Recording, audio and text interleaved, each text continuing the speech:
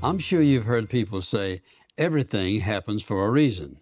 This sentiment is meant to provide comfort and a little hope that we're not victims of random circumstances. But the believer in Jesus Christ doesn't need the comfort of sentiment. We have the assurance that whatever we face in life happens because God allows it. And though He protects us more than we ever realize, what He does allow is always meant for a greater purpose. Now, I've been through some challenging trials. I know what it's like to be overwhelmed by the weight of circumstances. So I want us to look at how we can have victory in these situations. Today's email gives us a good opportunity to discuss this. And so it reads For over three years, I've been going through a particular adversity, and I finally understand what I need to do in order for God to resolve it. Surrender, trust, focus, pray, and obey God. I get it. But sometimes I feel overcome and weep over my trial. Does this mean that I don't fully trust God and have not totally surrendered to Him? I feel guilty for feeling like this. My friend, there's nothing wrong with feeling sad. All of us have had situations in which we felt sad. That's a natural response. If it's something that you have done or something that happened to you or something that you wouldn't even want to discuss with anyone else, just you and God, feeling sad is natural. In fact, the truth is, if you have sinned against God and created that kind of a situation, that's the right response. You ought to feel sad.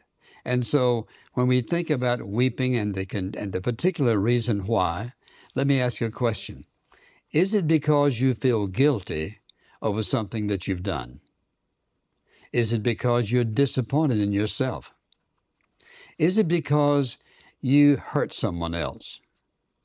Is it because deep down inside you cannot settle in your own mind and heart that God has really and truly forgiven you? Let me just say this it doesn't mean that you're not fully trusting, and it doesn't mean necessarily that you're not fully surrendered simply because you're sad. If it's something that you're responsible for, I would ask you again have you forgiven yourself? Have you really and truly trusted Him to forgive you? Because you see, if He has, and He will if you ask Him to, He doesn't want you being continually sad over something that He has forgiven you for, that you have dealt with, and here you are continually bringing it back, feeling bad about it, when God intended to set you free. You need not feel guilty if you're totally surrendered. You're committed to Him, and as you say, living a godly life. Listen to what He says in Philippians chapter 4, verse 6 and 7. He says, Be anxious for nothing don't let your life get all caught up in anxiety.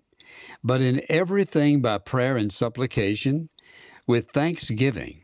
Listen, praying with thanksgiving, let your request be made known to God. And he says, here's what will happen.